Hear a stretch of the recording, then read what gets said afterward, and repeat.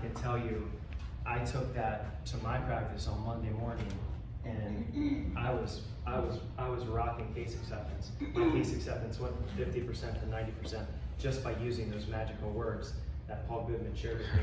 So I owe a lot of my implant um, successes to Paul. Um, obviously, he's a he's a very talented um, a very talented entrepreneur, and he gives us kind of the the uh, tools that we need to talk to our patients a little bit differently because dental school arms us with a lot of information that doesn't necessarily translate into.